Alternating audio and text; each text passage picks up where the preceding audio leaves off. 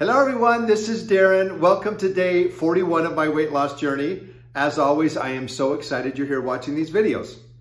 Okay, so today's topic, what if I fall off the wagon? Well, for many of you watching, you may remember back to a time when you did lose that weight that you wanted. And you got back to a lower weight and you said, I'm never going back. Many of us have said that before.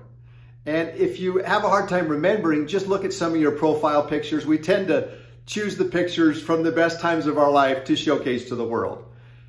But for some reason, events happened and we stopped being diligent. We stopped watching what we were eating carefully and slowly but surely we gained the weight back. And so I want to tell you that doesn't have to happen this time. And I mentioned we're going to initiate something at the end of this journey that will help us to maintain it. But you have to realize that if you fall off the wagon with weight loss, it's not that big a deal. If you were to have a milkshake, a cheeseburger, some french fries, if you were to go crazy, you've got to understand that the amount of calories that you probably overate that day maybe equate to maybe one to 2,000 calories. Those can easily be made up the next day. And that's why when we talk about stress-free eating, when we talk about this new approach to weight loss, I don't want it to be something that's not manageable and something we can't do going forward on a consistent basis. So realize if you fall off the wagon, just get back on the next day. You don't have to throw in the towel. You don't have to give up on your dreams of getting down to that desired weight.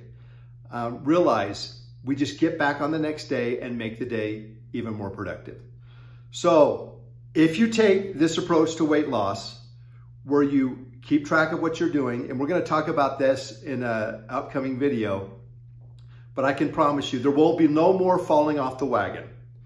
You can hang in there and make it through these times and realize you can eat some of the things you want as long as you keep track of what you're doing.